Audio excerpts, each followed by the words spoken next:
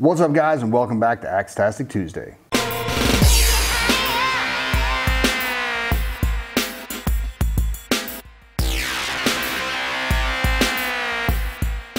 All right, so right now we've got the Team Associated RC8.2E. So it's the electric A scale buggy, and this thing is a beast. This is the first review I ever did for uh, Radio Race Car International when that magazine is still going around, and this thing just uh, wow. It's you can take it on the track and race it. It's really competitive, or you can take it out in the grass and just bash. And I loved it for that. 4S, we'll get into it.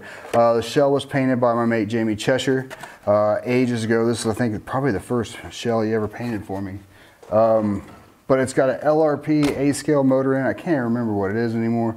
Um, see, does it say? No. Uh, I've got a Castle Mamba Monster ESC in here. I originally had an LRP one and it expired.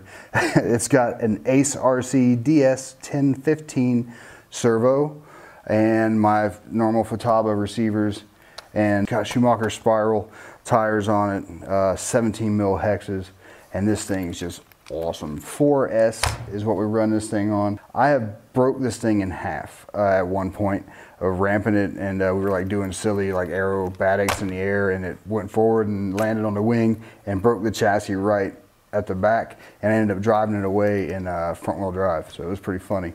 But it did great. Uh, I bent A-arms with it, or um, links on it, I'm sorry, the drive shaft, I bent that. I broke uh, the chassis braces and just keeps going. This thing is just phenomenal. Absolute blast to drive and stupid fast. But, and then as far as racing, uh, you can dial it in pretty well and it handles really nice. Uh, just got to do some setup with it and just does well. Uh, replaced the whole chassis for like 25, 30 pounds, I think it was back in the day. Not sure what it is now. And huge hinge pins on the bottom here, but it's just a beast. This thing is just awesome. Uh, plenty of power, plenty of power. And like I said, with this thing, you can go and race on an eight scale track, or you can just take it out to the field and just bash with it.